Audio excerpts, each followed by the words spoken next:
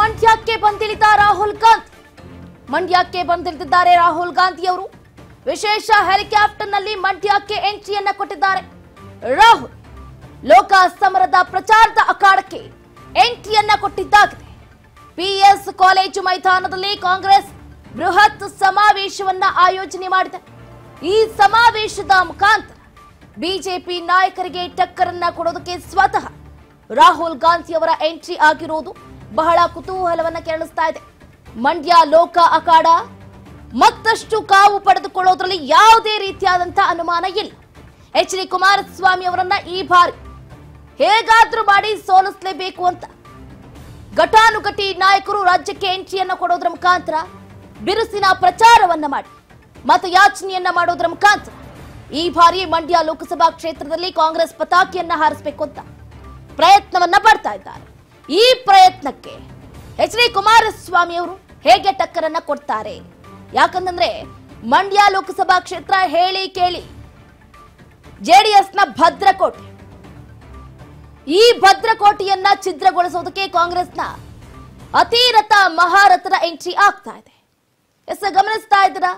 ಈಗಾಗಲೇ ಮಂಡ್ಯ ಲೋಕಸಭಾ ಕ್ಷೇತ್ರದಲ್ಲಿ ಕಾಂಗ್ರೆಸ್ ಮೇನಿಯಾ ಜೋರಾಗಿದೆ.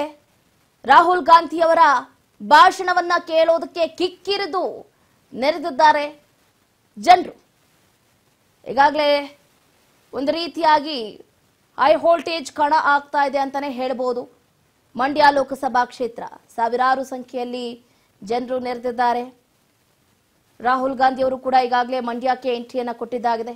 ಇನ್ನೇನು ಕೆಲವೇ ಕೆಲವು ನಿಮಿಷಗಳಲ್ಲಿ ರಾಹುಲ್ ಗಾಂಧಿ ಅವರು ಸಮಾವೇಶದಲ್ಲಿ ಭಾಗಿಯಾಗೋದ್ರ ಮುಖಾಂತರ ಮಂಡ್ಯ ಕಾಂಗ್ರೆಸ್ ಅಭ್ಯರ್ಥಿ ಸ್ಟಾರ್ ಚಂದ್ರು ಅವರ ಪರವಾಗಿ ಮತಯಾಚನೆಯನ್ನು ಕೂಡ ನಡೆಸಲಿದ್ದಾರೆ.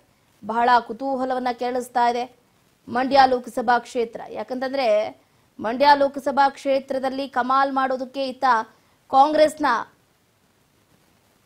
ನಾಯಕರೇ ಎಂಟ್ರಿಯನ್ನ ಕೊಡ್ತಾ ಇರೋದು. ಒಂದು ಕಡೆ ಕೌತುಕವನ್ನ ಮೂಡಿಸ್ತಾ ಇದೆ. ಎಸ್, ಇದ್ರ ಬಗ್ಗೆ ಹೆಚ್ಚಿನ ಡೀಟೇಲ್ಸ್ ಅನ್ನ ಕೊಡ್ತಾ ಹೋಗ್ತಾರೆ ನಮ್ಮ ರಿಪೋರ್ಟರ್ ಪ್ರತಾಪ್. ಎಸ್, ಪ್ರತಾಪ್ ಗಮನಿಸ್ತಾ ಇದೀವಿ.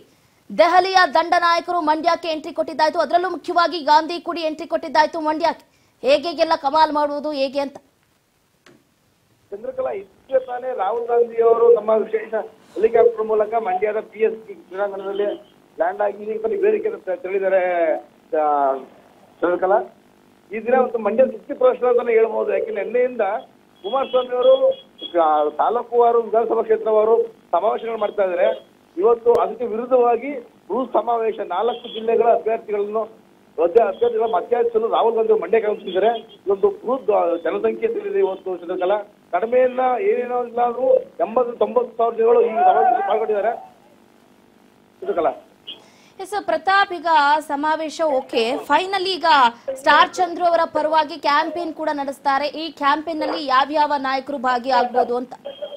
ಚಂದ್ರಕಲಾ ಈಗ ಸಿಎಂ, ರಾಹುಲ್ ಗಾಂಧಿ ಅವರಿಗೆ ಸಿಎಂ ಸಿದ್ದರಾಮಯ್ಯ ಅವರು, D K D C M D K Shivakumar ಅವರು ಹಾಗೂ ಬೇರೆ ತುಂಬಾ ರಾಜಕೀಯ ಮುಖಂಡರುಗಳು ಸಚಿವರುಗಳು ಎಲ್ಲ ಸಾಥ್ ಕೊಡ್ತಾ ಇದ್ದಾರೆ ಸರ್ಕಾರ ಪ್ರತಾಪ್, ನಾವೀಗ ಮಂಡ್ಯ ಲೋಕಸಭಾ ಕ್ಷೇತ್ರ ದಿನದಿಂದ ದಿನಕ್ಕೆ ರಂಗೇರ್ತಾ ಇದೆ. ಅದರಲ್ಲೂ ಮುಖ್ಯವಾಗಿ ಇತ್ತ ಪ್ರಧಾನಿ ನರೇಂದ್ರ ಮೋದಿ ಅವರ ಎಂಟ್ರಿ ಆದ ತಕ್ಷಣ ರಾಹುಲ್ ಗಾಂಧಿ ಅವರ ಎಂಟ್ರಿ ಬಹಳ ಗಮನವನ್ನ ಸೆಳೀತಾ ಇದೆ. ಇಲ್ಲಿ ಮೋದಿ ಅಲೇನಾ ಅಥವಾ ಕಾಂಗ್ರೆಸ್ನ ಐದು ಗ್ಯಾರಂಟಿಗಳ ಅಂತ? ಅಲ್ಲ, ಇಲ್ಲಿ ಬೃಹತ್ ಸಮಾವೇಶ ಏರ್ಪಡಿಸಿ ತೆರಳಿದ್ದಾರೆ. ಅದು ತೆರಳಿದ ನಂತರ ಇವತ್ತು ಮಂಡ್ಯಕ್ಕೆ ರಾಹುಲ್ ಇದ್ದಾರೆ ಎರಡು ಸಮಾವೇಶಗಳಲ್ಲಿ ಜನಬಂಬಲ ಸೇಮ್ ಇದೆ ಅಂತಾನೆ ಹೇಳ್ಬೋದು ಚಂದ್ರಕಲಾ. ಬಟ್ ಇಲ್ಲಿ ಇವತ್ತು ಮಂಡ್ಯದಲ್ಲಿ ಒಂದು ಹೆಚ್ಚಾಗಿದೆ. ರಾಹುಲ್ ಗಾಂಧಿ ಅವರ ಪ್ರಚಾರ ಹೆಚ್ಚಾಗಿದೆ ಅಂತಾನೆ ಹೇಳ್ಬೋದು.